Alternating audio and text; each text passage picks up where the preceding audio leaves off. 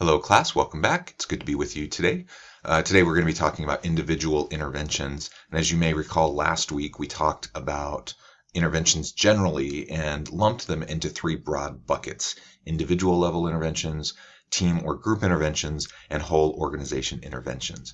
So today we're going to focus on the first of those three, and then we'll be talking about the next two in the coming weeks. Uh, as we talk about individual level interventions, and really over the next couple of weeks as we talk about each of these categories, I encourage you to think carefully about your own projects this semester and the various intervention activities that you have planned and how they might fit into each of these three buckets um, within the context of your broader intervention strategy. Generally speaking, I think it's a good idea to try to take a multi-prong approach um, to working with organizations. And sometimes we can even think of it as a three legged stool approach, where we try to do something that's individual level, something that's group or team level, and something that's whole organization level. Um, so I can encourage you to think about that as you continue on with your projects. As we discuss individual interventions, uh, I'm going to focus uh, mostly on the following individual instruments and assessments, coaching, mentoring, 360 feedback, and career planning and development. Um, before we jump right on in, though, I thought we could take a couple minutes and talk about the psychology of transitions. Um, it's difficult for anyone to change. Um, people almost always resist change, and it's a very rare individual or leader or organizational context where change is just immediately and wholeheartedly embraced. Um, and there's a reason for that. There's a, a, psychology behind the way our brain works and uh, fight or flight and why we resist change and why we like the status quo and what's um, what's safe and what's familiar and, and all those types of things. Um, so I think it's helpful as we think about individual level work that we think about the individual level psychology that goes into um, fearing change, resisting change, and even the the the adaptation stage that occurs as we work with people within organizations. So first, broadly speaking, we can think of it in terms of, well, really these three, endings, the neutral zone, and then new beginnings. Um, in endings, this is where we're letting go of past practices, beliefs, and relationships. Emotions include anxiety, fear, blame, shock, denial, disappointment. Acknowledge the past, good and bad, celebrating successes, conscious disintegration of the ending. So here we're we're mourning what is ending. Um, whether that's a restructure happening in the organization so that we we know that we're going to be working with a new team or with a new boss and we're mourning the loss of our colleagues uh, or or the close relationships that we'll have with them working with them every day um, or if it's just comfort in relation to culture policy practice things that we're used to that are coming to an end and it puts us in a situation where we have to learn new things and adapt um, that still creates these same types of uh, emotions.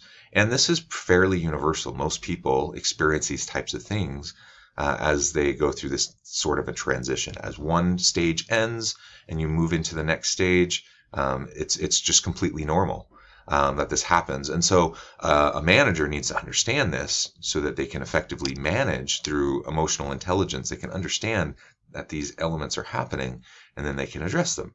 Uh, but most managers aren't skilled to be able to know how to do that. And so that's one thing that an OD practitioner can do is they can come in and on an individual level, they can have interventions aimed specifically at um, helping people let go and, and dealing with the anxiety, fear, blame, shock, denial, and disappointment. The neutral zone, then, um, here we're reflecting on loss, change, and there's gradual acceptance of the transition. Emotions include confusion, uncertainty, frustration, loss of purpose, the emptiness of loss that has not yet been replaced, and the tendency to escape the state, often without conscious attention to the feelings of change. Um, so, uh, so we need to process. We need to think about these emotions. We can't just pretend like they're not there. We can't just stick our head in the sand and pretend like nothing's happening. The, these emotions are real. Um, and we're going through the natural process of thinking about loss and change and, and gradually accepting. And if we don't go through this process, that gradual acceptance often won't occur. So it's really important that we go through this stage. And then we get to the new beginnings. reintegration of self, things may start to click again. We start to feel connected again. Emotions include gradually getting more comfortable. The fog is lifting, new sense of purpose and confidence within this new context that's emerged, and approaching new beginnings without the hard work of the transition state may mean making the same mistakes over and over again. So a lot of times what happens is people just put their head down, they just plow forward, they know it's going to be uncomfortable, they know it's going to be difficult. They never really process the anxiety, fear, blame. They never really process the confusion, uncertainty, frustration, and they just try to to press forward. And the reality is, though, the way our brains work is that most of the time, uh, it, rather than actually adjusting, we we harbor those same emotions and we what ends up happening is we just make the same mistakes over and over again the same resistance the same um, the fear and the anxiety and the frustration and the uncertainty. It's permeated throughout decisions as we continue to move forward. And this is one of the reasons why so many uh, change initiatives and why so many od interventions ultimately fail is because this process isn't effectively managed. Um, and we just try to push um, employees straight through to to that that other side without actually going through this process. So I think that's something important for us to consider as we think about individual level change. So think about an experience with a transition that you've ever had. What did the ending stage, the neutral stage, the new beginning stage feel like for you? What do you what did you do to move between the stages? And it's also the reality that people process things at different speeds. Um, people move through the stages at different speeds. And this doesn't just have to be a workplace type of a scenario. This can happen in various aspects of our life, uh, from individual relationships. It can happen in, in community organizations. It can be, happen within religious contexts. It certainly can happen in, within an employment situation. Um, people naturally go through these types of stages when things change, and it can be difficult. So think about that, and you'll have an opportunity to discuss um, in the discussion this week. So now let's talk about um, different types uh, of individual assessments and instruments. Uh, there are many out there, so things like the Myers Briggs, um, Strengths Finder. Uh, there are many different types of personality uh, type assessments, um, and each of them have their own potential benefits. Uh, but we have to be careful because sometimes these get used as a, a one size fits all kind of uh, approach, and people can get pretty darn dag- dogmatic about their individual assessment of choice.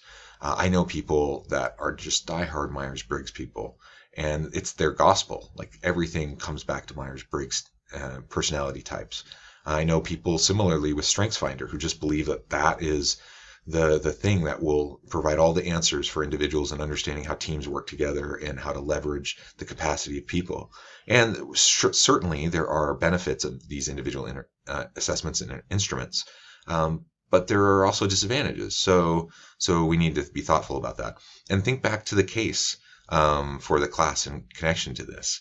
Um, individual level assessments can go terribly wrong if we're not careful. So we have to be um, thoughtful about how we use them and how we debrief them and how we implement them.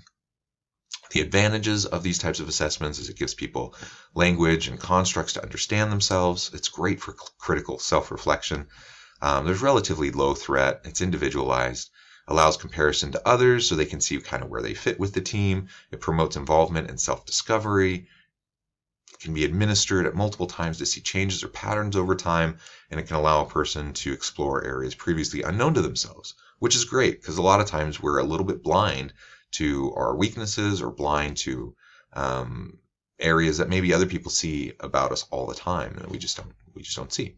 Um, but there are disadvantages. So people may s- seek the right answer or right style, quote unquote, um, thinking that there is a right answer or a right style. And let me tell you, I just don't think that's true.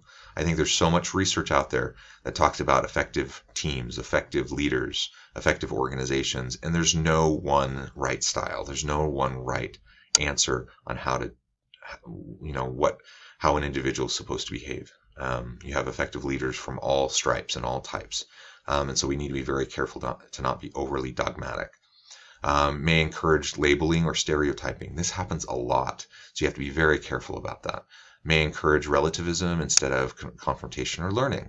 Uh, fear there's sometimes fear of being exposed or discovered, psychologically figured out that they think they're being profiled. Other people are going to figure out what their weaknesses are. It can foster dependency on the facilitator rather than people actually taking the steps for critical self-reflection and self-discovery. And it can be too much information to confront at once. Uh, it can be overwhelming for people, especially if there's a lot of blind spots that that they start to shine light on. Um, so I think you need to think about not compelling participation, establishing a safe and non-judgmental atmosphere, um, practice explaining the instrument, how it is used, what it's what it assesses, how it was developed, what theories are included, how to interpret it. Invite uh, participants to draw their own conclusions and take the instrument yourself, um, so that you have some empathy for them. And the second to last bullet, invite participants to draw their own conclusions. I think that's really, really important. Um, don't just assume that you know everything about it uh, about that person just because of this simple little individual assessment. Um, I don't want to take too much more time, so I'm going to um, go through these next uh, slides fairly quickly. Um, coaching, though, we basically have the opportunity through formal and informal coaching to help individuals and go through the stages uh, of, of uh, evolution uh, and change, um, and and we can help them through the process. Um, so think carefully about how you can coach, and I think many of you have had good coaching relationships in the past. Think about how you can strengthen that even more in the future. Now I want to take a minute and talk about the Johari window. Um, here you can see this quadrant system, unknown to others, known to others, known to self, unknown to self. So if you if something's known to others but it's unknown to self, that puts you in the blind spot quadrant. If something's unknown to others and known to self, that's the hidden spot. So those are things you know but other people don't see and you're kind of hiding from other people. Um, and if it's known to others and to yourself, it's that open window. The real danger here, um, really the hidden spots, the blind spots, we want to um, minimize, but it's also the unknown window. The bigger the unknown window, which also is increased by how big the hidden spots and blind spots are, um, the, that will increase the size of the unknown window. And the bigger the unknown window is, the more potentially dangerous it is. Um, and your interactions and understanding how to move forward. So, what we want to try to do through openness, through being um, genuine and authentic and openly communicating with people is we essentially want to expand that open window that reduces the hidden area through disclosure to others reduces your blind spots through feedback from others and and you also see that that unknown window shrinks as well uh, and I think ultimately that's what we're trying to accomplish through individual level interventions is increase and enhance that open window. Now you also have some additional opportunities uh, in the discussion this week to to think about um, additional uh, elements of individual interventions and thinking about career development. So think about um, the stage model of career development. Um, what stage are you in? What stage do you see yourself moving to in the future? And how might uh, an organization and a, and a consultant help facilitate that? I think that's a really important thought process to go through for yourself, but also as a, as a consultant going in and trying to help people um, you can help them process that also. And then lastly, um, another think, pair, share um, that you you might have an opportunity in the the weekly discussion online to to explore. Have you ever had a mentor or been mentored yourself? What was the purpose and duration of the relationship? How did the mentor help you? Or how did you help your mentee? What agreements did you make about the mentoring relationship? How did you get started? How often did you meet? What role did the mentor take? What did you what did that experience mean to you? What do you think makes a good mentor? That's a lot of questions all thrown in there, all together looking at effective mentorship.